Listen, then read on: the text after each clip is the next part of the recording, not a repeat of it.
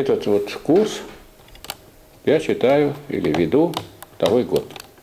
Значит, я представлюсь, вы уже представились. Познахирка Александра Сергеевна. Значит, меня зовут Попов Михаил Васильевич, доктор философских наук, профессор кафедры социальной философии и философии истории. Ну, я так понимаю, что вы культуролог, да. правильно? Ну вот, теперь я хочу сказать, какие у нас и какое есть родство культурологическое. Значит, я здесь работаю непосредственно на факультете с 2008 года, хотя в университете с 1963 вот, а перед этим я работал на кафедре философии и культурологии Института повышения квалификации. Полное его название – Институт по переподготовке и повышению квалификации преподавателей социальных и гуманитарных наук-Республиканский учебно-научный гуманитарный институт Санкт-Петербургского государственного университета. Вот кто мог это выговорить, получал зарплату. Вот. Коллегами моими были, скажем, вот Орлова Надежда Хаджимирзановна, знаете ее, да? Вот она еще не была доктором, она доктор, профессор. Заведующим кафедры был Уваров Михаил Семенович, который умер в прошлом году. Там у нас были другие близкие, так сказать, культурологии товарищи, значит, Марина Николаевна Цветаева, которая здесь на кафедре музеологии, она, так сказать, тогда доктор Суищер, я у нее был рецензентом. Так что мне вот, так сказать, в силу такой кафедры культурологии пришлось заниматься, в том числе и рецензировать соответствующие работы. Вот, но, значит, как вы понимаете, задача у нас будет, так сказать, задача будущего. И я хотел бы сказать, что это за занятие, что за курс, какую цель он преследует. Вот на этом остановиться, потому что это, в общем, дело необычное. Год назад меня пригласил заведующий нашей кафедры говорит, вот Михаил Васильевич предлагается вести занятия по анализу классических текстов Маркс Энгельс, немецкой идеологии. Вы будете отказываться? Да нет, говорю, не буду. Почему я буду отказываться? Ну, тогда вот увидите. И оказывается, кроме меня, таких товарищей очень достаточно много. У нас с нашей кафедры еще ведет доцент Погребняк, вот рядом в расписании видно, и, значит, товарищи профессора с кафедры истории и философии тоже анализом классических текстов занимаются в разных вариантах, так сказать, разные здесь берутся работы. Единственное, что мне не удалось решить за этот год – убедить всех тех, кто пишет там э, бумаги на эту тему, что нет такой работы Маркс немецкой идеологии, как написано. А мы все-таки, если мы культурологи, то как-то должны авторов называть тех, которые есть, а не только половину авторов. Вот. Причем не, не только в расписании. Вот весь прошлый год я просил каждый раз, чтобы писали все-таки Маркс Энгельс. Нет. Но хуже дело, значит, поскольку у нас сейчас проходит конкурс, каждый год для всех преподавателей.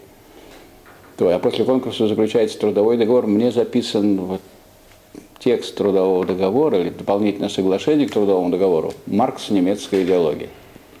Так сказать, я уже был под таким вопросом, так сказать, как мне подписывать такой трудовой договор или не подписывать. Можете не подписывать, но не добиться. Значит, я беседовал на этот семестр с нашим диспетчером, объяснил ей, что такое нет работы, что надо написать Маркс и Энгельс. Она все записала, пообещала. Сегодня прихожу, смотрю, то, что в понедельник я приезжал, не было еще расписания. Маркс, немецкий. Ну вот я первое, что вас, вам сообщаю, информирую, что, что имеется в виду работа – Карл Маркс, Фридрих Энгельс, немецкая идеология. Что каждый, кто историю вопроса знает, должен знать, значит, что, так сказать, это работа двух авторов. В связи с этим у меня, да, какие мы преследуем задачи. Э, ну вот, э, эта работа э, относится к классическим текстам. А что такое классика? Вот что вы скажете, Александра Сергеевна? Классика, как вы понимаете? Что значит классический текст? Сейчас вот иногда пишут классический кефир. Это довольно сомнительно. Кефир может быть классический. А? Да. Ну вот здесь не кефир, а вот какие... Что такое вообще классика? Как бы вы дали определение или понятие, Что вы считаете относится к классике?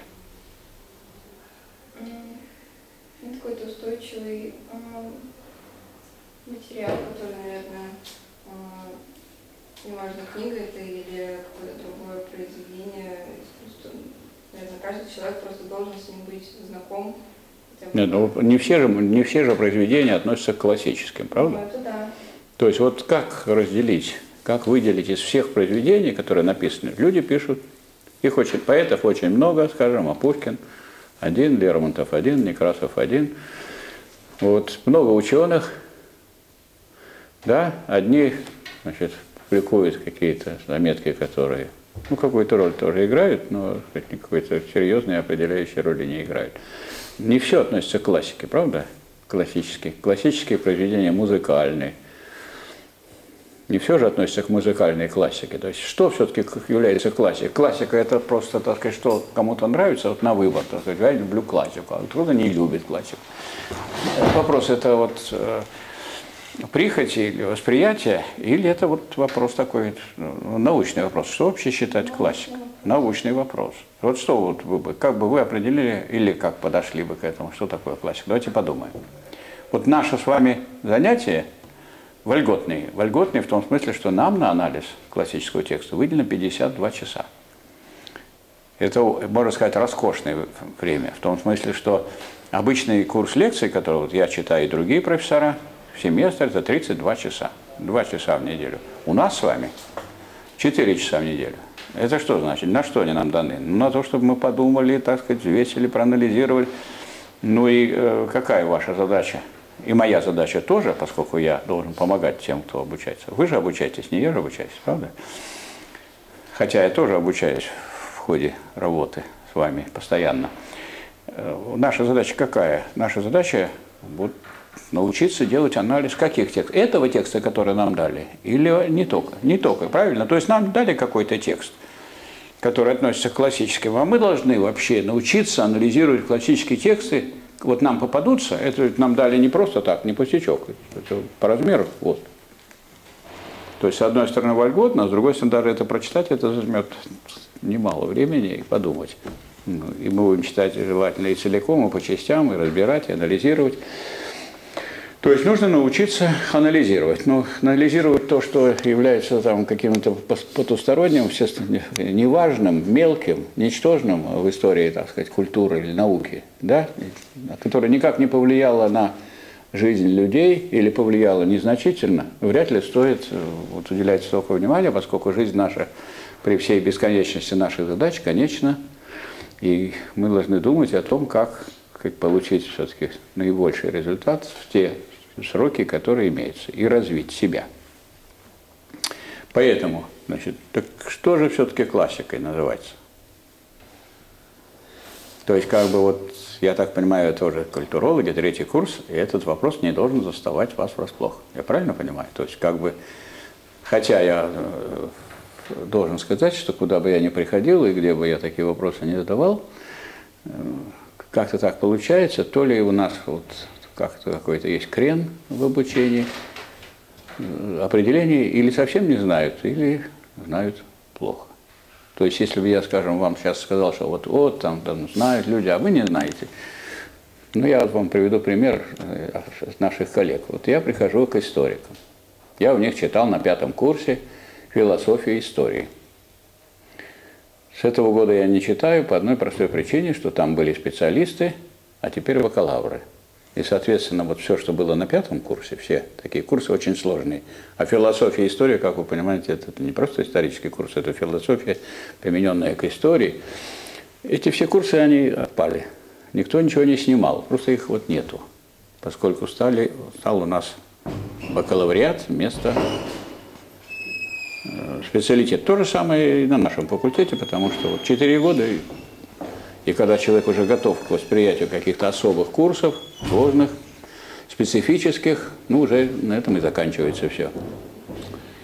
И вот того, что было при подготовке по специальности, когда есть научный руководитель, профессор или доцент, и вы с ним работаете почти год. Ну, это тоже как-то так. Дескать, вот у вас будет выпускная квалификационная работа, и так сказать, мы вас выпустили, вы полетели. Куда хотите, туда летите.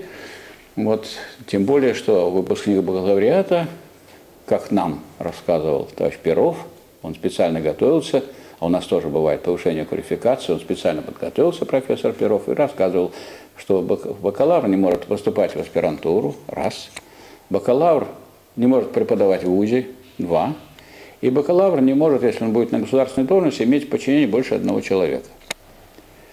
Ну, можно сказать, что вот строгость российских законов умеряется необязательностью их исполнения. Не думаю, что кто-то будет так уж смотреть, сколько у кого в подчинении. Вряд ли это будет. А вот что касается аспирантуры, действительно, в аспирантуру бакалавра, бакалавра не идут. Так вот, я историком пятого курса задаю вопрос, что вы изучаете? Говорят, мы изучаем историю. Хорошо. Что такое история? Что такое история? Так сидят, пятый курс. Уже вот все, это последний курс и уже диплом. Ну, так. Я говорю, ну хорошо, ну что вы изучаете? Ну, мы изучаем то, что было. Хорошо. Я им говорю, значит, вы изучаете то, чего нет. Логично? Ну и куда вы пойдете? Вот я специалист, придете в фирму какую-нибудь, в организацию, на предприятие, сказать, я вот специалист, изучал то, чего нет. Я хочу к вам поступить. Кто вас возьмет? Хотите, я вам расскажу, что вы, что вы делаете? Да, да, скажите, это, берут ручки. Ну, а мне-то тоже надо, я же все-таки преподаватель философии. Философии надо же показать, что она какую-то имеет и практическую ценность. Я говорю, вы изучаете, дорогие товарищи, современность как результат предшествующего развития человечества. То есть все остальные вот специальности, они изучают вот так вершки без корешков.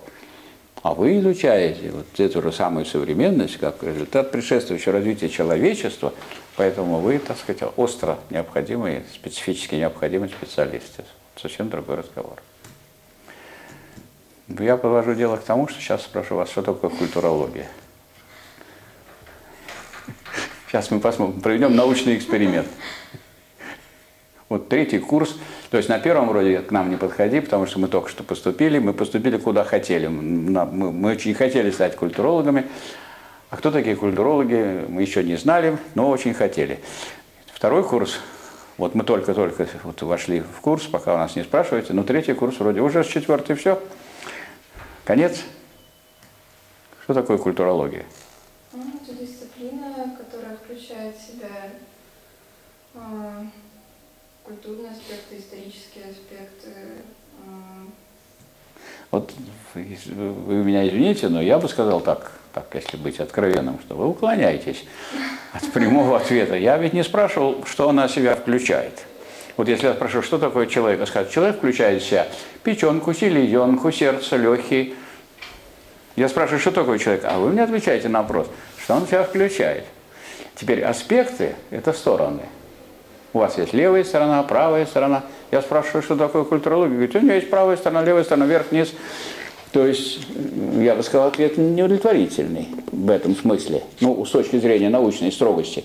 Вот мы сейчас с вами готовимся к анализу. Что такое анализ? Анализ, он такой беспристрастный, и э, там Маркс это писал, Энгельс, неважно кто. Мы анализируем, что написано, и разбираем по полочкам, что написано. То есть в известном смысле мы настраиваемся, вот они разбирали очень сильно, Маркс и Энгельс, предыдущих всяких авторов. Иногда столько много критики, что кажется уже это чрезмерно. Вот. Но наша-то с вами задача тоже подойти критически к тому тексту, который мы берем. И если мы берем какой-то текст, значит, мы там ничего не пропускаем, мы никуда не бежим, мы начинаем анализировать, что такое там сделано, и что хорошего, что, так сказать, неудачного, где логично, где нелогично и так далее. Поэтому я сразу, мы должны с вами ведь настроиться на определенный лад. То есть вот от вас требуется не что-то сказать, на эту тему, как наговорить. Если, значит, профессор что-то спросил, то студент должен ему обязательно что-то наговорить. И как была такая маленькая карикатура, профессор такой маленький вопросик, а оттуда такое облако всяких разных формул, там сказать, всяких знаков, надписей и так далее. Это я даю вам время подумать. Так, мы, давайте мы разделим задачу знаете, есть у математиков такое правило, если интеграл не берется в целом, его берут по частям. Культура – логия. Логия от какого слова? От слова логос. А логос означает?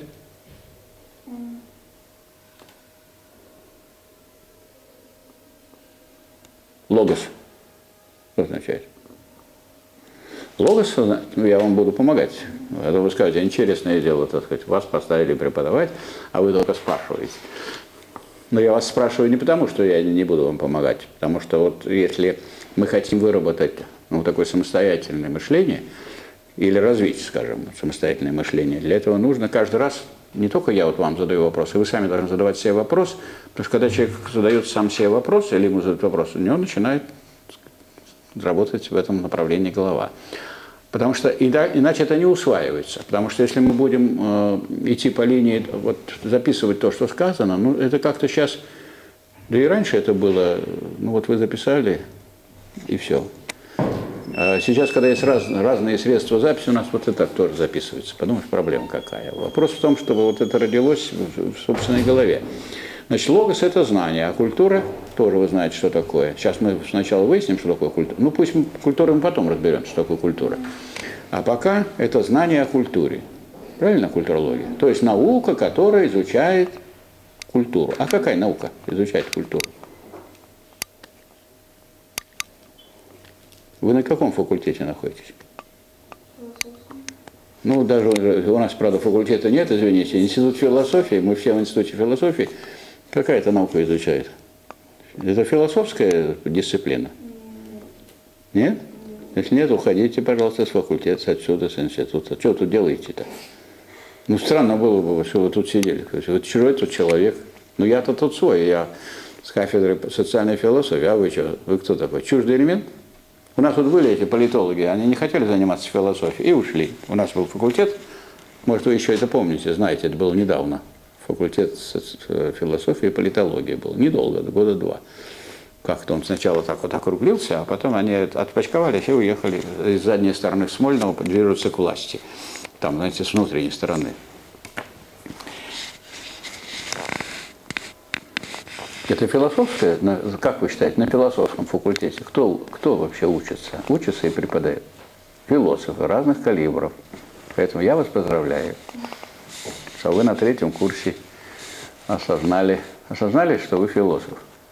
Но какой философ? В известном смысле прикладной. Вот, скажем, если у нас курс читается социальной философии, это что такое? Это философия, ну, примененная к э, обществу. А если мы еще будем дробить, а в обществе есть такое очень крупное явление и важное, как культура. Значит, социальная философия надо взять, и ее подраздел – культурология. Культурология как подраздел социальной философии. Или можно сказать так, есть науки теоретические. Вот вы идете значит, по факультету в сторону студенческого деканата, по левой стороне кафедра антологии, теории познания. Ну, тут это обо всем, то, что есть. Правильно? Это теоретическая наука. О чем там говорит? Бытие, бытие, и как это бытие познать. А если мы говорим, вот скажем, у нас есть культурология, а конфликтология – вот я вот в прошлом семестре у конфликтологов преподавал, сугубо. Только у конфликтологов. Ну, они, конфликтологи, кто такие? И мы с ними начали тоже с того, вы кто вообще? Вы, так сказать, прикладные философы или вы чуждые тут элементы, с которыми нужно что-то делать, как-то решать дело? Временно здесь пребываете и хотите отсюда отбыть.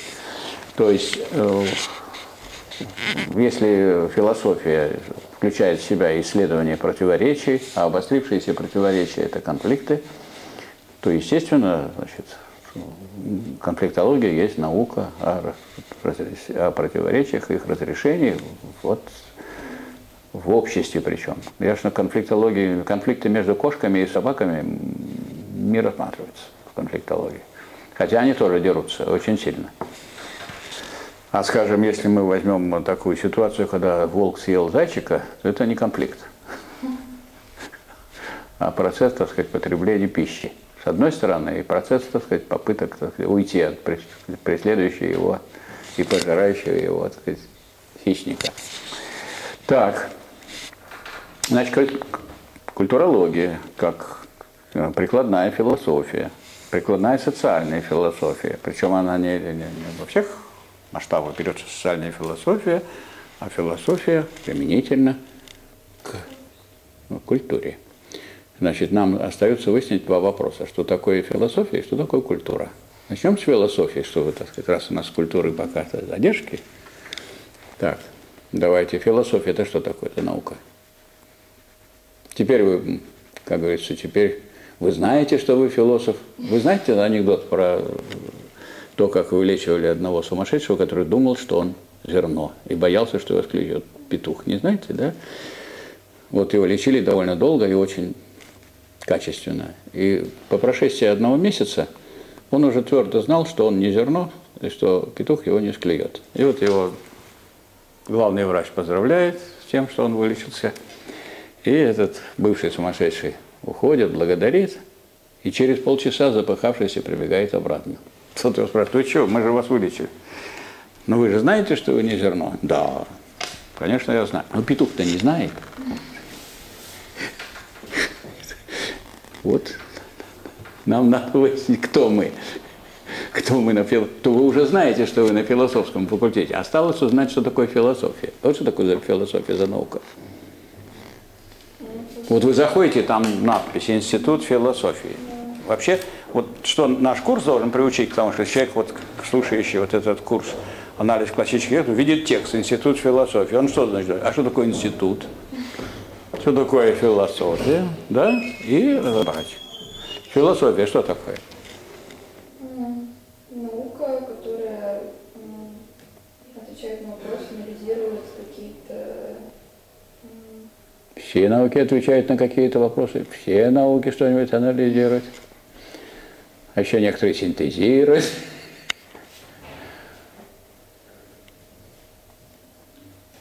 Вот придет к вам человек вот, около нашего института, спросит, вы с этого института, а что за такое, это философия-то у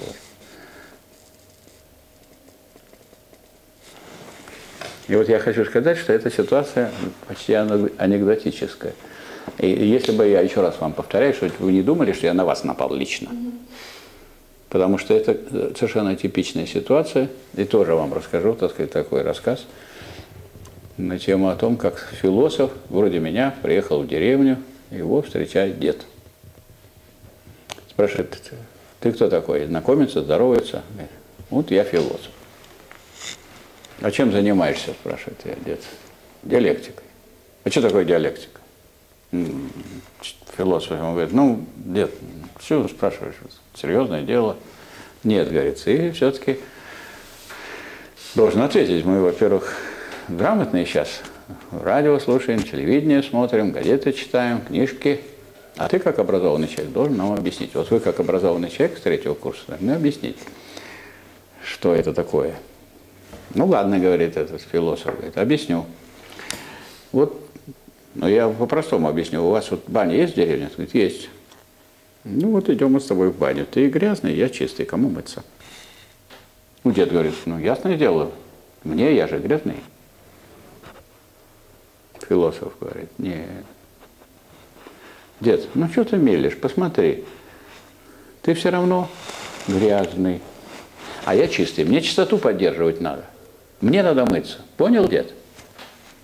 Дед удивился, говорит, ну какая наука у вас сильная. Сильная наука, я никогда не думал. Что действительно у вас серьезная наука. Подожди, дед, это не все. Вот мы второй раз идем с тобой мыться. Ты Грязный, я чистый, кому мыться? Я говорю, ты что тут непонятно? Это усвоил я вашу эту науку. Ну, ты чистый, тебе чистоту поддерживать надо. А мне-то что мыться? Я грязный. Философ говорит, ты что мелешь, дед? Ты что мелешь? Ты подумай, ты же грязный, тебе надо мыться, а мне ты что мыться? Я же чистый. Ты подумай своей головой. Дед подумал, говорит. Так вот, дед, запомни, то был первый тезис, а вот это антитезис. Мне, тебе надо мыться, ты грязный. Понял? Это антитезис. А то, что я должен был мыться, это тезис был. Но это не все, дед. Третий раз мы идем с тобой в баню. Ты грязный, а я чистый. Кому? Дед говорит, ничего не понимаю. Вот дед. Это и есть диалектика, синтезис. Так и здесь. Ну, что за наука философия? Опять я вам дал время. Пока я что-то говорил, а вы в это время... Знаете, когда кто-то что-то говорит, другой, кто находится в дискуссии, в это время что-то обдумывает, это чтобы предложить вариант. Кому мыться? Что такое философия? Опять начинаем по частям. София, знаете, что такое? Знаете. Что это значит? А? Нет? Громче. Победа. Нет. София не победа. София – это мудрость. Победа – это триумф. Так, значит, это София. Так, а Фило?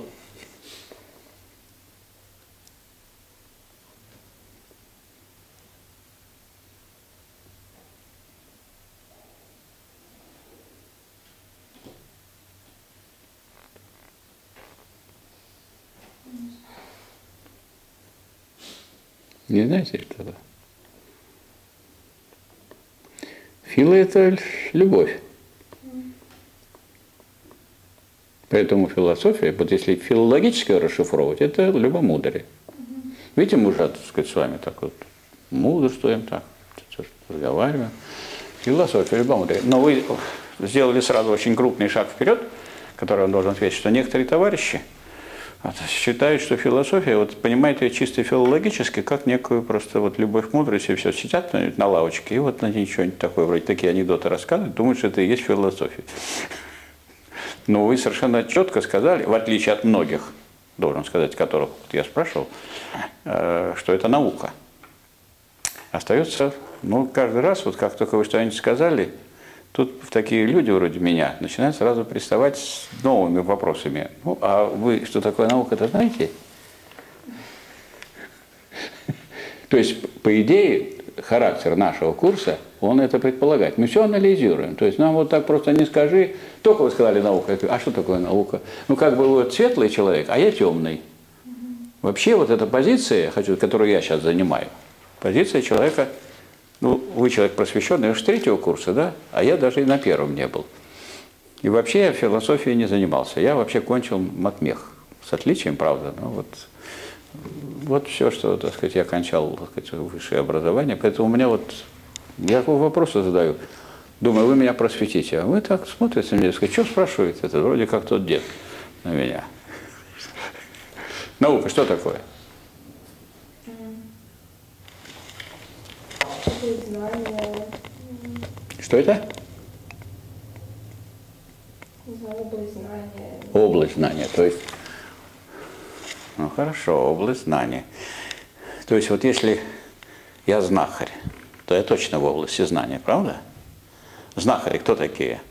Вот если я знахарь, то я знаю, если у вас заболит голова, такую травку заварите. Если что-то у вас с желудком, вот такую травку заварите. И я это точно знаю, и это помогает. Вы же знаете, что вот эти знахари, это есть просто шарлатаны. Их шарлатаны везде есть, в том числе и в науке. Так сказать, как червяки в яблоках тоже есть. Поэтому я сейчас говорю не о отдельных лицах, а вообще о том, что знахарство вообще того. Это есть люди, которые опытом своим определили то, от чего, что, к чему помогает. Угу. Так? И они поэтому находятся в области знаний. Ну, как вы определили. То есть вы как бы, я вас спрашиваю, что такое наука, вы меня сразу как бы на карте этих областей всяких деятельности человеческой сразу определили место науки. Она наука где-то в области знаний. То есть уже двинулись в правильном направлении. А что такое? Так вы уклонились от этого. Я же спрашиваю, ни в какой области она находится? То есть вы меня правильно натолкнули на мысль о том, что это не в области, так сказать, э, э, добывания каменного угля. То есть не в области практики, это не надо искать не на завод надо идти, а надо сюда идти. Вот мы здесь и сидим. Так что мы находимся в нужном месте. Что такое наука? Мы сейчас в области знания, согласны? Или как бы частично в области знания, частично в области незнания.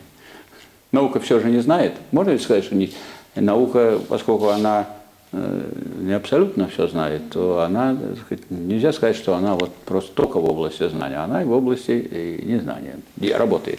И переводит из области незнания некоторые вопросы в область знания. Вот уже мы знаем, что она делает. Но что это такое? И, но все знахари, они раньше не знали, что это поможет. А вот теперь при головной боли. А теперь знают. Вот они ученые. Они знахари, они ученые. Вы знахари и ученых различаете? Да. Да, значит, все-таки нам это вот то, что вы сказали, вот существует развлечение такое у Гегеля в науке логики, что есть правильность. Да, это правильность, это то есть вот если вы так сказали, я сказал, это правильно. Mm-hmm. Да. Есть достоверность, то есть надо еще проверить. Проверили. Если проверили, то это не просто правильно, но и достоверно. А есть еще истинность, которая выше, чем просто. Mm-hmm. Да, истинность гораздо выше, потому что она берет не односторонний вопрос, а она берет его, вот, вот все противоречие в целом, дает целые противоречия, и его целое и его отрицание, которое есть в нем. А во всем есть его отрицание. У вас есть недостатки? У меня есть, сразу скажу. А у вас? Ну вот видите, а недостатки – это наше отрицание. То есть если вы начнете рассказывать, что у меня вот это хорошо, то хорошо, то хорошо, это будет правильно. Но если вы умолчите, что я вот что-то сделал, не дадите, то это будет не истинно, хотя и правильно. Вот я тоже могу, если скажут, что у вас там, что у вас вот студентка Познахирка Александра Сергеевна, как научится она вот это делать хорошо, это делать хорошо, и все это будет правильно, и все это от нас все от, отойдут, потому что у нас есть тут анализ, у нас классических текстов, это вас не касается, все, все хорошо. А, а у нее есть что-нибудь неправильное? Ну, я тоже могу сказать. Но я это не собираюсь говорить, то есть это не входит в мои обязанности так, отчитываться по поводу этого. Вот я выставляю там, вам оценку, ставлю отчет и так далее. Но э, вы же понимаете, что есть и отрицательные стороны. Но мы их на, это, на них указываем, потому что весь процесс движения и развития связан там с преодолением этого отрицательного и так сказать, с тем, что это вот целое, то, что является решающим, главным, определяющим, что оно так сказать, крепнет, там, усиливается, развивается – Поэтому в этом вот, в, значит, таком вот назойливом, так сказать, указывании на некоторые минусы и недостатки, ну, в этом есть тоже что-то ненормальное. Поэтому мы с вами это разбираем сейчас. Вот ради чего? Ради получения правильного понимания того, что такое философия, а не потому, что я вам говорю, то это вы неправильно сказали, то вы неправильно сказали, вот вся вы неправильная, а я вот такой правильный, вот я вот это знаю, а вы этого не знаете. Еще бы не хватало, чтобы я этого не знал. Вы скажете, вы за это деньги получаете, я-то тут сижу. Как говорится, мне, с меня взятки гладкие, потому что что такое студент? Студент – это человек, который еще не знает. Поэтому вот если студент что-то не знает, то, по-моему, это вообще не недостаток. Это как бы естественное состояние студента. Это, а как? Он же не заявляет, что он специалист, правда? Но если он закончил, то на другое дело. Ну, можно будет сказать, я не специалист, я бакалавр, отстаньте от меня. Сейчас такая отмазка уже есть. Так, хорошо. Значит, ну вот никакие мысли не пришли, что такое наука? Ну, это знания, полученные какими-то, полученные опытами, полученные... Вот опытами тоже алхимики очень увлекались. Астрологи еще и комментировали это. То есть опытное знание, да? Опытное знание, вот каждый человек, любой человек опытного знания очень много имеет. Вы из своего опыта знаете, если на скользкое, так сказать, ступишь, если не убережешься, можешь сильно упасть и разбиться. это точно знание. Особенно, когда шишки, шишки набьешь, это прочное знание получается. Вот это опытное знание. То есть это вот не проходит. Значит, как мы будем делать? Это мы вот сейчас то, что делаем, мы с вами отлаживаем, так сказать, метод нашей работы. Значит, если вы не сможете, не можете пока сказать, значит, я это буду делать. Вот. Но я это буду делать тогда, когда вы пытаетесь, и если вы пытались, и, так сказать, вот сейчас я вам это сформулирую, вы это запомните. А если вы не пытались, я просто вам скажу, вы это не запомните. И это понятно совершенно. То есть человек тогда, когда он напрягает свой мозг, он воспринимает, и не так он воспринимает, что он потом откроет книжки, тетрадки и начнет там, когда я таком числа, такого-то числа нам говорили. То есть он начинает копаться просто в памяти, очень механическим образом. В наше время, когда есть флешки, там сколько хочешь гигабайт, Есть компьютеры, у которых огромная память, и есть другие крупные носители информации, довольно бессмысленно, так сказать, все-таки как-то так все сводить к напряжению памяти, а у вас должна быть в голове определенная система, которая вам, ну, если вы мысль свою напрягали, то у вас эта мысль, вот этот ответ на этот вопрос задержится, и он будет. Так вот, наука – это не просто знание. Ответ очень простой. Ответы даются в классических произведениях. Сейчас мы до них доберемся. У нас еще, знаете, что повис вопрос о классике. В классических, классическим произведением является по философии наука логики Гегеля, который подвел вообще итоги развития философии за XIX век и э, разработал, систематически разработал диалектику. Вот, и поэтому у него есть простые такие высказывания, простые. Вот, вот скажем, у негениальных людей – трудно найти простые высказывания, там такое наговорят, это запомнить немыслимо. А у гениальных раз и все. Например, э, наука – это система знаний, или знания, приведенные в систему. Систему. То есть не то, что я вот опытным путем набрал, набрал, набрал, набрал, набрал. Вот знахарь это, это знает, это знает. Никакой системы нету.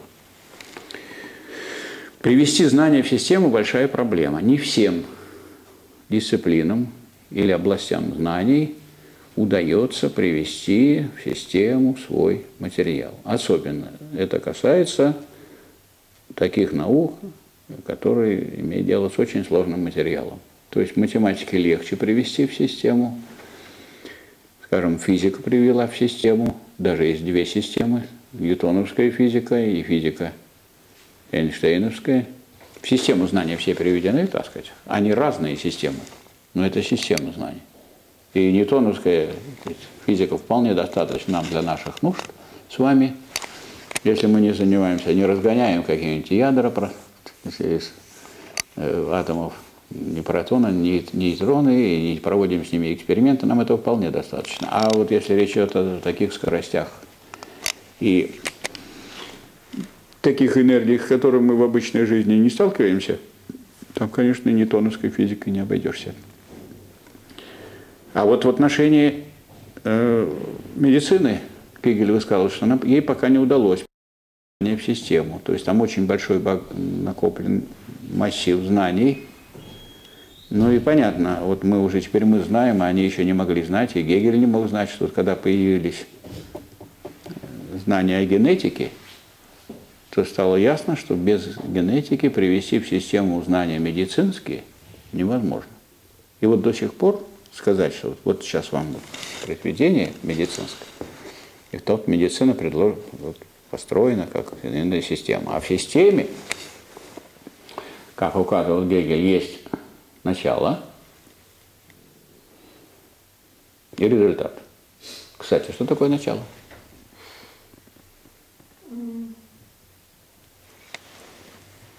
Это я просто вас вам демонстрирую, что такие простые, такие слова, которые мы тысячу раз употребляем, они не продуманы. А почему они не продуманы, это тоже Гегель отвечает. Потому что говорит, кто это будет думать о том, что и так всем известно. То есть вот с детства человек знает это, то есть это ему известно. Он тысячу раз это слушал. И задумываться над тем, что известно, без особенных, так сказать, усилий или без особенных курсов вроде нашего – а кто будет задумываться? И так мы это нам известно. Что вы спрашиваете об этом? Всем известно. А что это такое? Это всем известно. Ну, раз всем известно, значит и вам, а что это такое? И человек не может ответить. А ответ на него не такой простой, но очень остроумный. Начало – это, если вы что-то начинаете, значит, наверное, вы знаете, что будет в конце. Правда? Иначе это не начало, это какое-то действие, которое не связано с результатом. А э, если вы что-то начинаете, вот вы начали обучаться, значит, если вы начали обучаться культурологии, значит, результатом будет культуролог. Правда? А если у вас другой собирается получить результат, то вы здесь просто, так сказать, занимаетесь чем-то другим. Были такие случаи однажды.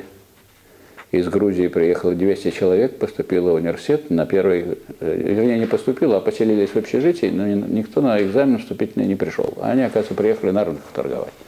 А у нас правило было какое? Сказать, пожалуйста, вы принесли, пришли, записали, что вы пойдете, и вам дали общежитие для подготовки к экзамену. И все. Вот они пожили в общежитиях, поторговали и уехали. То есть начало – это неразвитый результат. Если вы не имеете в виду, то это не начало. Если я начинаю строить дом, так у меня вот этот дом где-то есть в голове, результат есть? Если этого не собираемся, то... хотя есть некоторые строители, которые, они называются девелоперы. Сейчас называются девелоперы. Это, это вы думаете, что если вы сдали деньги, то вы получите дом. Вы сдали деньги, то они деньги соберут и уедут в другую страну. И таких, как вы знаете, он Полонский уехал. Куда? В Камбоджу. Знаете, сколько они собрали денег со своим приятелем? Дескать, Болонский должен был деньги собирать, приятель должен был изображать фирму. Собрали 6 миллиардов рублей. Эти 6 миллиардов им не помешали, и они уехали. Поэтому он очень хотел, чтобы его там посадили куда-нибудь в этой в Камбодже. Потому что если не посадили, как вы, выдадут России. А так он там в местной тюрьме и как-нибудь. Отец сказали, мы готовы тебя посадить, но давай миллион долларов. Он как-то затрудился, и, в общем, как-то он неопределенно там повис в этой Камбодже. То есть, если ты убегаешь с большим количеством денег, то на эти деньги охотников там тоже находится. Тут так, там, куда ты прибежишь. Во всяком случае, у него начало было большого предприятия. Совсем другое, чем начало у тех, которые сдавали деньги. И вы знаете, что таких случаев очень много. А результат что такое?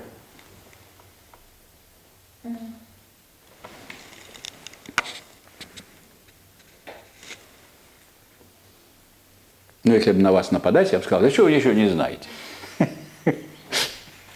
Что за культурологи такие? Ничего не знают. Хотя я хочу сказать, что вы так предполагаете, это обычная типичная картина. То есть это вот, вот такая картина э, такого философского, философской подготовки, с которой приходится встречаться. Если бы была разница по курсам, я бы сказал, что на первом курсе одно, а на пятом одинаково. Одинаково. То есть, к сожалению, это вот э, и очень хорошо, что у нас есть такой курс, что мы можем на этом остановиться немножко и подумать, а не просто схватили книги и читаем, потом пишем что-то про эти книги, потом схватили, читаем, пишем.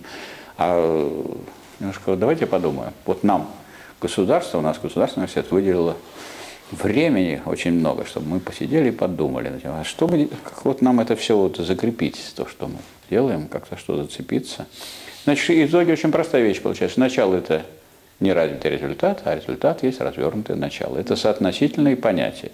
Потому что вы никак не докажете, что такое верх, если вы не имеете в виду низ. И никак не докажете, что такое низ, если вы имеете в виду верх. Например, слово «жена» о чем говорит? Вот, о муже. А муж о чем говорит, что у него есть жена. Хотя буквально вот там первый шаг, муж это муж, ну и получается бревно есть бревно. Ерунда. А вот тут вы сразу ответили очень правильно. Соотносительные понятия такие.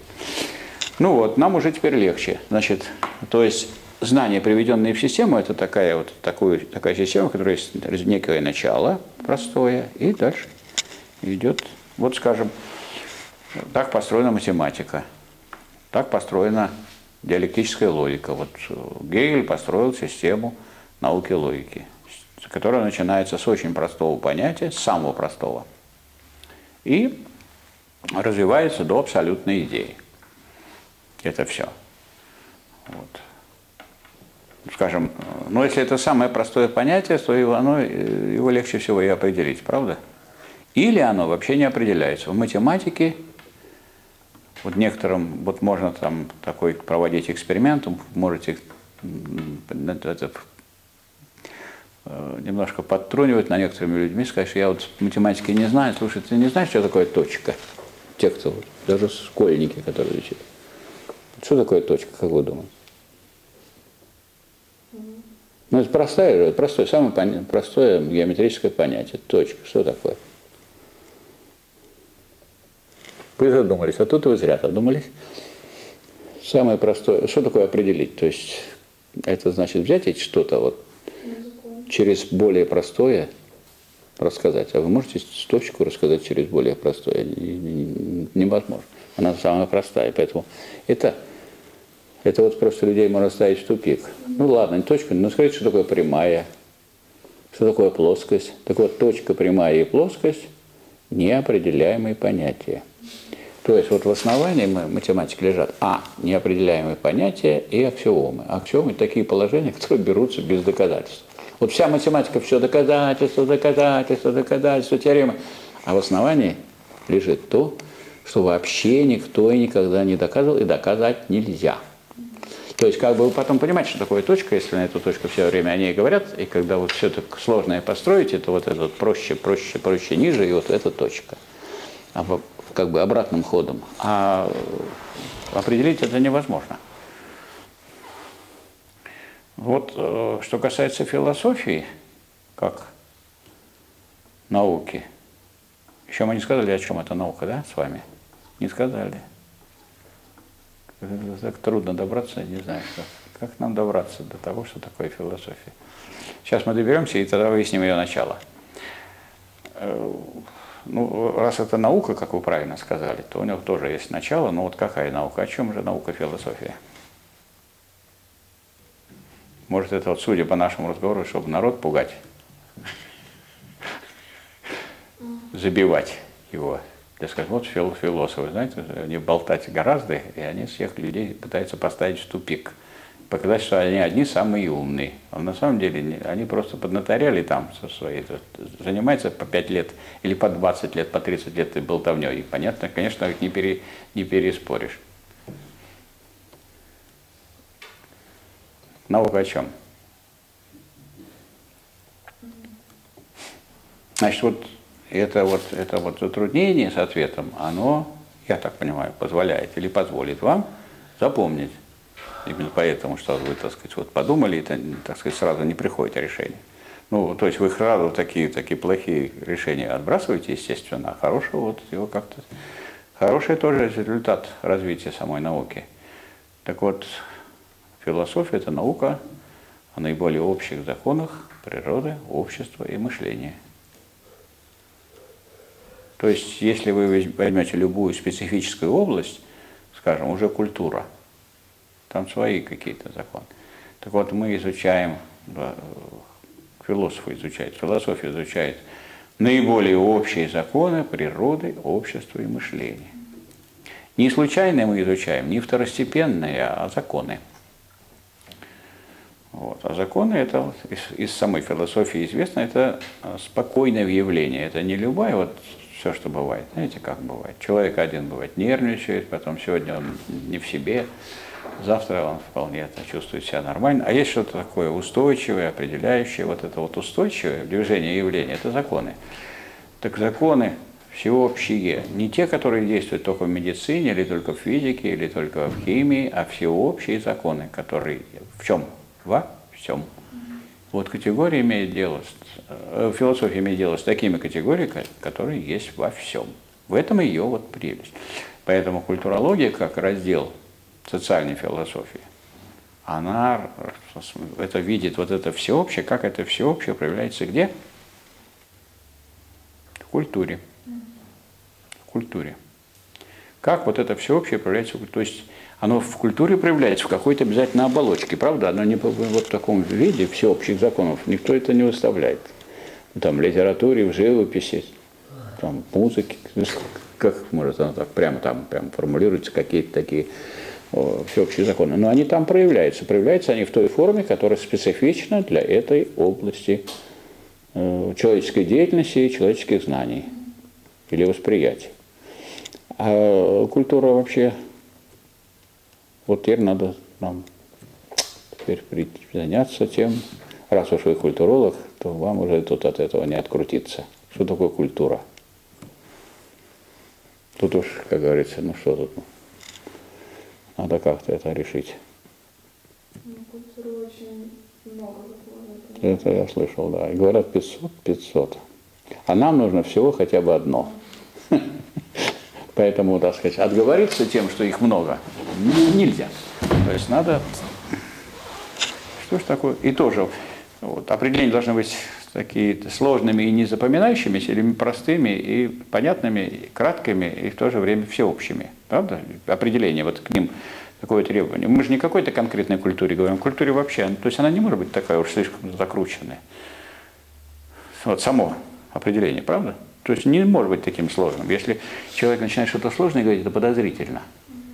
Потому что мы же говорим не об этой, не о арабской культуре, не о немецкой культуре, не об итальянской культуре, не о русской культуре, не о культуре Средневековья, не о культуре 20 века, не о культуре 21, не о будущей культуре будущего общества. А мы говорим о культуре вообще. То есть такая высокая абстракция это культура. То есть от всего абстрагирована. Не культуре, которой владеют отдельные люди там, и разные люди в разное время. Поэтому это что-то должно быть простое. Я вас наталкиваю на то, чтобы вы что-то простое сказали про культуру. Не забивали народ сложными формулами. И сами, соответственно, но если простое, так это можно запомнить. Скажем, в чем секрет того, что люди, вот некоторые люди берут и ведут занятия. Ну, если бы, скажем, такие сложные были штуки, то есть если не найти этих простых, то это немыслимо, конечно, это, это без, без бумаги это делать. А когда человек по бумаге, он читает, это это вообще не творческий процесс. Ну, это, в общем, принятые нормы, ценности, это память. Э. Так, так, так, так. Память. Если память, это все память, память. Ну, как историческая память.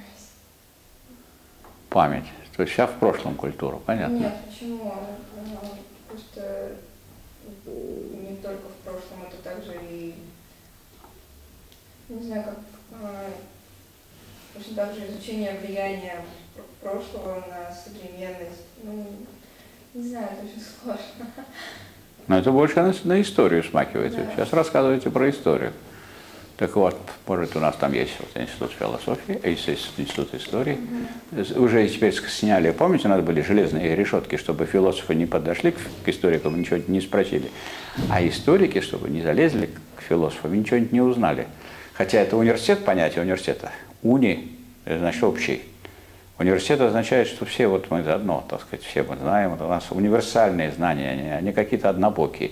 И тут при этом вот такие железные решетки страшные. Потом у них стали такие есть, как бы двери закрыты, но можно открыть, там замков не было. А потом взяли и убрали, наконец. Тогда, когда у нас появился один проректор, товарищ Цветков, теперь эту проректора убрали, а решетки так и не поставили. Так, что такое культура?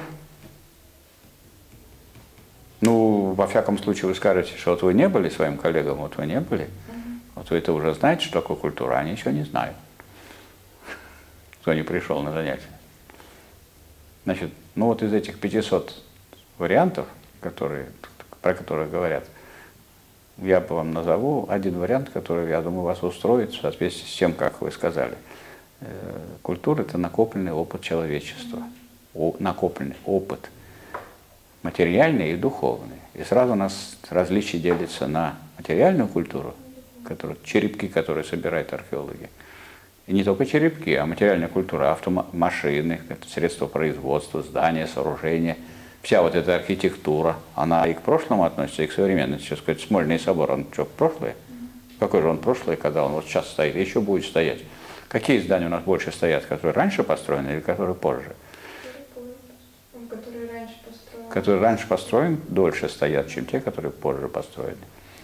Вот, скажем, здания из этого буржуазного такого периода у нас красивых, ну, какие-то кирпичные заводы всякие есть. Кирпичные в смысле здания, ну, некрасивые, как правило. А вот, скажем, возьмете вы тот же Потемкинский, это Таврический дворец, или там Исаакиевский собор, или ну, тот же самый Смольный собор. Это все вот здание. Или вот у нас Меньшиковский дворец вот стоит и стоит. Ясное дело. Или вот здание 12 коллегий. Его что, когда построили? А вот уже в наше время один из моих знакомых, который стал проректором по хозяйственной части, и раньше он отличался он тем, что он был нумизматом, собирал деньги. Потом он, он собирал разные деньги, потом, видимо, стал собирать последние деньги, новые.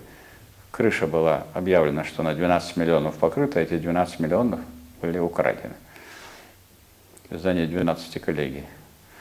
Но это обнаружили, было уголовное дело, денежки все вернули, поэтому всем дали условно.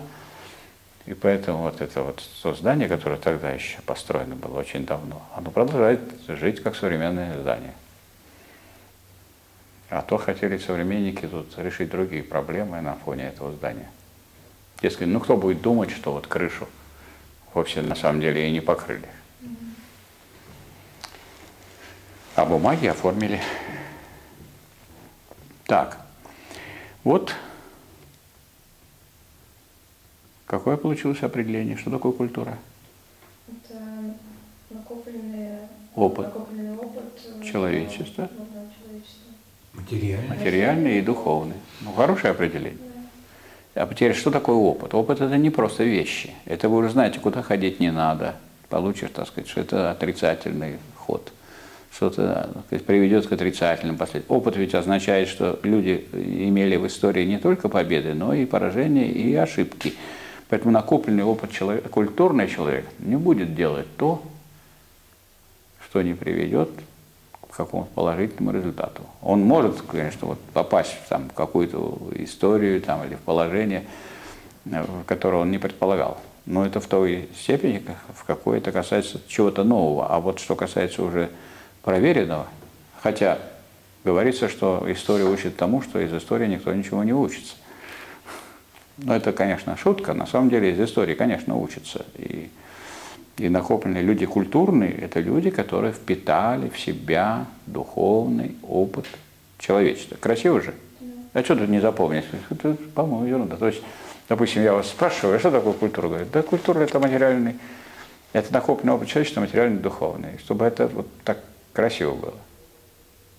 И вот э, это одно из целей наших с вами занятий. Вот мы что должны делать? Вот нам предоставило государство возможность оттачивать свои, я имею в виду именно оттачивать знания, не в том смысле, что сейчас вы будете читать, что-то читать, мы должны оттачивать так, чтобы мы э, не просто решали задачу, вот перед нами есть произведение, и вот мы вот его прочитаем. Ну, во-первых, его прочитать прекрасно может без меня. За нас не изба читальня. Что, неужели сказать, надо думать, что вот вы не можете в состоянии прочесть? Ну, если люди пришли сюда с, э, в университет, сдав свидетельство о среднем образовании, то, в общем, предполагается, что они это читают. Второе, там, если вы просто я, вы будете рассказывать, что сказано там, то это называется изложение. Да? Вот не хотелось бы, чтобы мы тут вот выслушивали изложение. Потому что что такое изложение? Это вы демонстрируете, что вы способны изложить, что там было. Вы с какого класса можете сказать, излагать, изложение писали? В каком классе? Ну, в шестом уже бегло писали. А? Шестого. Шестом точно, правда? И вот представьте себе, вот вы, значит, сейчас культуролог, третий курс, а я, значит, там пришел с кафедры философии, социальной философии, философии истории, и хочу проверить, как вы пишете изложение. Ну, как-то это, в общем-то, я бы сказал, по отношению к вам, это как-то унизительно, что я должен проверять, можете ли вы, или вы будете мне по- показывать тоже как-то самоунижительно, что вы можете изложить, что вот написано. Ну, что ну, хоть этот текст, для любой текст вы возьмете и изложите, хоть письменно, хоть устно. Вот мне не хотелось бы это проверять, потому что я считаю, что если человек принес свидетельство об окончании средней школы, это само собой. Правильно? Вот э, Сейчас у нас ведь сегодня занятие вступительное, мы должны настроиться. Я надеюсь, что товарищи, которые отсутствовали, посмотрят. Через некоторое время это появится. И э, это, так сказать, не только для вас, и для всех остальных, кто будет заниматься. Чтобы мы вот настроились на этот лад. Почему? Потому что эти занятия проводятся для кого? Для вас или для меня? Для вас. Кто заинтересован больше, вы или я? Вы. Ну, так то есть надо, чтобы вот это время не, не было вычетом из э, времени развития, чтобы в соответствии с определением культуры, культура культурологов, она ведь тоже может повышаться, или она неизменная величина? Да? А тем более, вот скажем, Гегель назвал бы, я бы сейчас задам вопрос, вы культуролог или нет? Да? Ну, хорошо, хоть вы отвечаете. Я у политологов вел. Они говорят, вы политолог? Нет. А кто вы? Я студент. Ну, если вы не политолог, то покиньте, пожалуйста, это помещение. Так я же, говорит, еще не, не специалист, пока не, не сдал экзамен. Да, но вы хоть знали, куда идете-то? Вы не специалист, но вы кто? И на самом деле вот на этот вопрос, чтобы ответить, надо знать философию. То есть вообще То есть вы сейчас культуролог, вы закончили свой процесс становления как культуролог? Нет. Значит, вот культуролог. Вы сейчас культуролог в становлении. А становление – это единство. Вот вы, если откроете такой классический текст, который называется э, «Наука логики Гегеля», в самом начале, буквально там на первых страницах, вы прочитаете, что э, становление – это единство движения исчезновения бытия в ничто, ничто в бытии. То есть это становление человек находится. Есть возникновение, есть прихождение. Понятно, что то, что вы запоминаете, тут же, может, и забывается, но все-таки есть и процесс такой восходящий, переход из ничто в бытие. Вроде как пришел человек сюда в ВУЗ, он еще не, никакой не культуролог, а он, так сказать, в самом начале, он как культуролог ничто. А в конце этого процесса он бытие. И вот вы получили диплом. А скажите, пожалуйста, на этом заканчивается ваше движение? Нет. А дальше движение будет тоже называться становление? Или так вы все будете становиться, становиться, и никак не станете? Или все-таки как-то по-другому будет называться ваше дальнейшее движение? К более высокому. Как называется движение от низшего к высшему, от простого к сложному?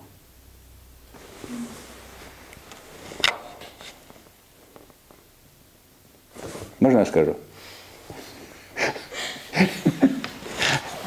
Движение низшего к высшему, простого сложному, называется развитие. То есть вот у вас процесс становления завершится, вы получите диплом, свидетельство о том, что вы, у вас становление успешно прошло, теперь вы культуролог, теперь вы знаете, что вы не зерно. И теперь, и теперь начинается процесс развития. А вот когда идет процесс развития, это разве это процесс движения от ничто к ничто? Это процесс, вот вы когда развиваетесь, вы от чего к чему идет движение? Вы сейчас развиваетесь или нет? Надеюсь, что не деградируете, правильно? Если вы развиваетесь, от чего к чему идет движение? От меня к вам? От вас ко мне? Или от чего к чему идет движение? А? Ну кто развивается-то? Значит, от чего к чему идет движение?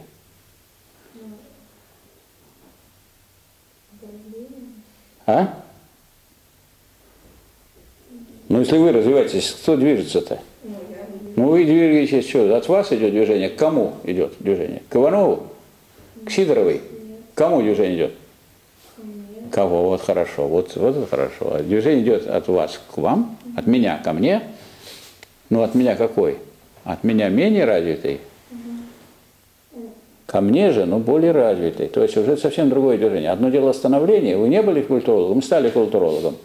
Но когда вы стали кул- культурологом, поэтому сейчас, вот, например, раз вы находитесь в становлении, это, это полная индульгенция от всяких сказать, нападок на вас. Вот сегодня сколько вы мне не ответили. Представляете, сколько не ответили? Там человек, не знающий философию, скажет, о, это она не знает, это не это не знает. А вы мне, как человек поднаторевший, как философ, должны сказать, а что вы ходите? Я в становлении нахожусь. Ну, если я на что-то ответил, если я вообще с вами разговариваю, уже хорошо. Во-первых, я пришла, другие не пришли. Вот. А третье, те, кто не пришли, они мучаются, у них борьба идет внутренне, мы тоже с уважением должны относиться. Они понимают, что должны прийти, но не пришли. Они еще не знают, буду я меры принимать, не буду меры принимать. Пока не буду, потом буду. Это ясное дело. То есть у нас же государственный университет, они должны не забывать. А государство это что такое? Тюрьмы, лагеря, насилие всякого рода, правда? Это ужас. Что такое государственный университет? Здесь без принуждения ведь не пойдет дело. Так, ну вот, видите, как хорошее какое, так сказать, понимание э, развития движения от себя к себе. От себя к себе, но от себя менее развитого к себе более развитого. От, движение низшего к высшему, простого к. Вот определение развития. Очень хорошее. Очень хорошее определение, которое, ну, как бы показывает вам, в чем жизнь ваша будет состоять. Вот она сейчас состоит в том, что вы должны вот перейти в это бытие, стать культурологом. А вот став культурологом, вы теперь будете все более и более развитым культурологом, который, так сказать, а что такое более? То есть и в этом смысле и культура ваша, как культуролога, будет все время возрастать. Надеюсь, и не будет падать. Правда? Накопленный опыт. Вы будете накапливать опыт, правда? А это на опыт человечества, ваш опыт туда тоже входит. Вы что, не входите в человечество? Входите же в человечество.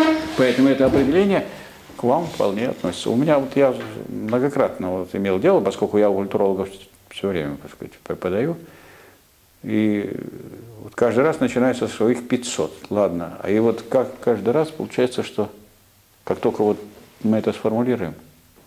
Дальше дискуссия всякая кончается. Тут ну, более простого и более такого красивого определения просто нету. И, и надо вот за время нашего обучения найти такие вот опорные определения, на которые ну, всю жизнь годятся, можно им всегда пользоваться. Например, вы, допустим, что такое право? Вот у меня ученое звание профессор по кафедре экономики и права. Должность у меня профессор кафедры социальной философии, философии и истории. Ученое звание дается потому, по той кафедре, на которой ты в свое время это звание получил. И так оно на всю жизнь остается. Вот что такое право. Это если у меня есть такое звание, я должен проще это рассказывать или сложнее? Ну, если вроде как, если профессор, можно накрутить и сказать, о, как солидно будет, да? Значит, право, что такое? Ну, поскольку это тоже, сказать, как характеристика культуры, я сказать, вот, вы же не можете сказать, что, что у меня, если бы вы были не культуролог, я бы сказал, не стал бы к вам с таким вопросом. Но культуролог, он, он так, у него широкие знания, он же не ограничен там так, узко своей специальностью. Ваша специальность такая, что она безгранична. Почему? Потому что накопленный опыт человечества, что у вас еще в этом опыте нету никакого права, никакого представления о праве. Право что такое? Это возможно, возможность... Э, у меня возможность украсть есть, а право запрещает. Что?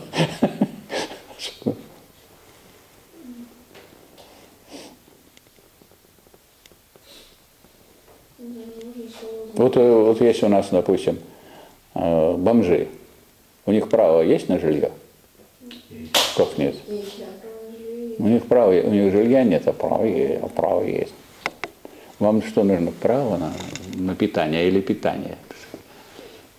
Вот приходите вы в кафе, а у вас там ничего нет, все закрыто написано. Дорогие студенты, у вас есть право на питание. И, и все прямо так вот наклеено там на дверь, чтобы вы не дергали зря. Право есть возведенное в закон воля господствующего класса. И все. Вот вы можете найти какие-нибудь учебники по праву, сейчас какие-нибудь произведения. Вот, а вот такие батареи нас пишут, такое право. Это вообще невозможно запомнить. Ну, я не могу запомнить просто потому, что я знаю, что это и не надо запоминать. Потому что, это, потому что определение по смыслу своему очень простые. Ну, вот, скажем, вот вы кто такой человек, знаете, нет? Это мы эту же тему с вами продолжаем обсуждать. Так, философию мы уже знаем, что такое. Мы знаем, что вы будете развиваться от себя к себе. Это очень важно, что, что не потеряете лицо. Вообще это слово «в себе» очень интересное, потому что оно используется Э, в науке логики Гегеля, и кажется это диким таким, там, для себя бытие, в себе бытие. И кажется, что это какое-то понятие, привнесенное с другой планеты, сугубо такое философское, для того, чтобы людей а, отваживать от философии. А на самом деле люди говорят, простые люди говорят, вот я сейчас приду в себя, и вы тогда уж давайте меня спрашивайте. А пока дайте я приду в себя, вот после как я пришла. Нормально же вы так говорите? Что значит приду в себя? А вы где были раньше? А вы где были? Вы на небе были, а сейчас будете в себе? Или, или э, я сейчас не в себе. А где я? Что значит не в себе? То есть вот это в себе бытие такое философское понятие, это, а что это означает в себе? Вот это вот выражение философское в себе, которое мы обнаруживаем в языке очень часто –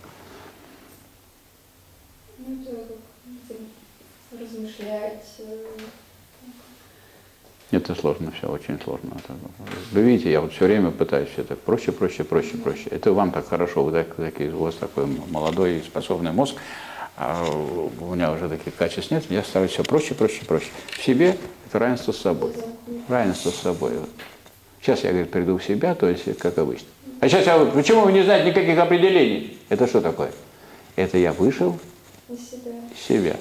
Я с вами нормально разговаривал, как и положено. Что вы скажете, что вы, что вы выходите из себя? Это не положено в государственном университете. Хоть мы и студенты, но у нас права есть. Мы граждане России, и вообще не должны на нас повышать голос и так далее. Ну, вышел человек из себя. Я должен извиниться, сказать, извините, я вышел из себя, я больше так делать не буду. То есть, посмотрите, как интересно в языке это проявляется. В себе. Э, мне сейчас не по себе. Что значит не по себе? А по кому? По Иванову? По Петрову? То есть ни с кем тут не сравниваться. Не по себе это значит не равенство с собой. Обычно я не такая. Обычно у меня такого не бывает. Сейчас мне не по себе. И вот э, люди внимательные к этим вещам, вот те люди, которые внимательны к понятиям, а ведь понятие это отражает, они что в языке отражается? В языке отражается то, что было повторено человечеством миллиарды раз. Вот если человек начинает это в языке уславливать, улавливать, вот он тогда этот опыт – накопленный опыт человечества гораздо быстрее усваивает, потому что где этот накопленный опыт? Его прямо ловите его в языке, он уже есть там. Ну что такое логика? Логика – это вот тот же опыт, накопленный как раз в языке. Это не логика французская там, или немецкая, или она, это логика там, там так сказать, э, русская, а это логика человеческая. А человеческая логика – это всеобщее. А раз всеобщее, она во всех языках, или, как Кегель говорит, во всех развитых языках. То есть где-то, может, есть племена какие-то очень, сказать, которые не на невысоком уровне культуры находятся, у них это вот нет средств для выражения таких вот понятий. А у, во всех, у всех развитых народов это есть. Вот если говорить о вот этом, о, о понятиях. Поэтому для культурологов особенно важно быть таким чутким, чутким к языку. И культурологи очень близки к логике как таковой.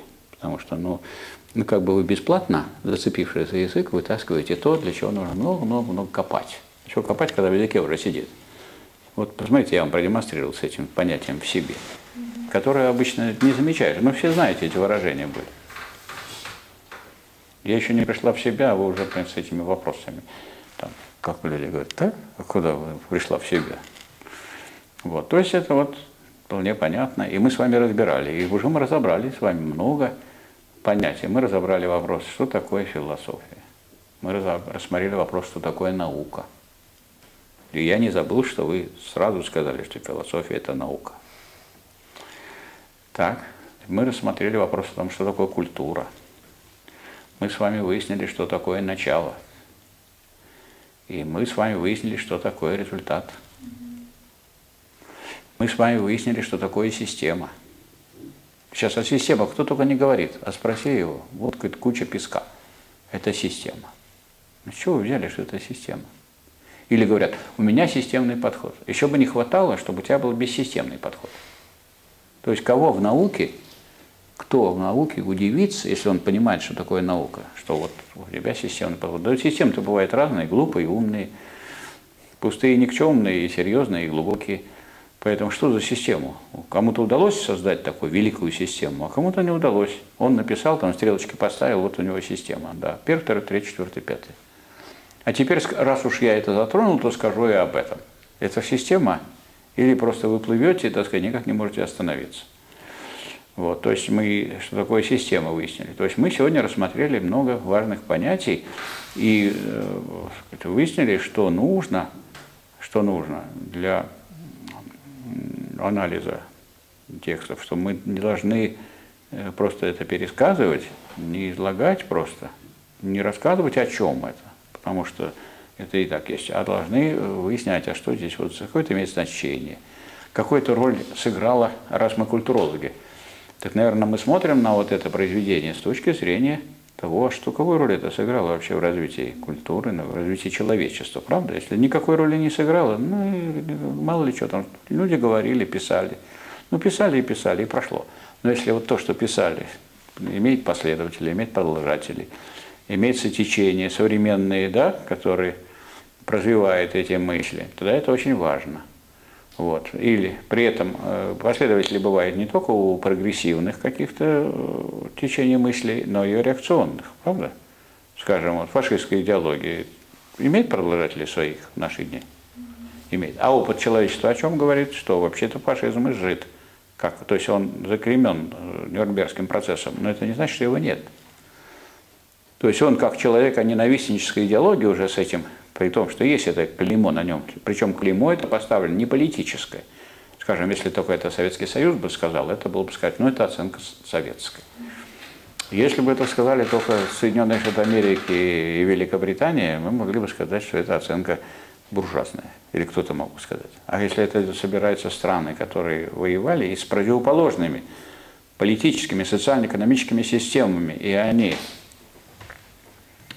и они дают такую оценку фашизму, как человека-ненавистнической идеологии, и устраивают по этому поводу специальный трибунал, специальный Нюрнбергский процесс, то игнорировать это обстоятельство – это быть уже некультурным человеком сегодня. Правильно? Поэтому, вот, скажем, мы смотрим на события, которые на Украине, и видим, что там, кроме всего прочего, за время, сказать, пока там некоторые деятели правили и, так, и все это разваливали, то там, конечно, понизился уровень культуры, кроме всего прочего. Что вот надо хоть, понимать, по крайней мере, что такое фашизм и в чем он состоит. Но это сложное понятие. Я, конечно, мог бы вас сейчас спросить, что такое фашизм. Думаете, что вы не ответите. Если хотите, можете попробовать. Это тоже, вот я сегодня вам даю только какие-то широко известные слова – как вот вы бы сказали, что такое фашизм? Ну, вы не скажете, я культуролог, не надо меня спрашивать, что такое фашизм. Я человек культурный, я не знаю. Тоже не просто сказать, да? Вот что это такое? При том, что есть отдельные понятия, там, шовинизм, национализм, терроризм, да? Есть такие понятия? То есть много всяких понятий, национализм разных. И, а тут есть вот это понятие. И как всякое понятие, оно требует тоже соответствующее, так сказать, соответствующего выражения. Так, ну давайте мы сделаем, это я вам дам на обдумывание. Значит, сейчас мы сделаем таким образом. Вот у нас сейчас будет перерыв 10 минут. И после этого я постараюсь, перестану вас допрашивать, потому что все, как говорит философия, что все может перейти в противоположность. Даже если много вкусного ешь, то это может быть чревато. Вот. Я буду рассказывать о том, на каком этапе появилась вот эта историческом этапе появилась эта работа. На каком историческом не в смысле истории человечества только, а в смысле на каком этапе в истории философии она появилась. Потому что мы же должны ее брать, ну как культурологи, не в отрыве от предшествующего развития, и не, даже не в отрыве от последующего развития. Мы же после нее это изучаем. Уже много времени прошло. То есть, как ее, как ее место вообще в, э, в течение человеческой мысли. Вот я на этом постараюсь остановиться достаточно обстоятельно. Вот, и уже в качестве, так сказать, вот, некой лекции вводной. А к следующему разу нужно будет – вот у нас там есть на, на диске, вы увидите там все темы, и перв, все, первая тема будет, которую нужно подготовить. Нужно, соответственно, прочитать. Желательно, чтобы все читали с упреждением, чтобы у нас не получилось, что мы там что-то не знаем. Вот у нас есть первая тема Фербах противоположность материалистического и идеалистического воззрения. В собрании сочинений Маркса Энгельса, это том третий, да? В третьем томе. Это страницы с 15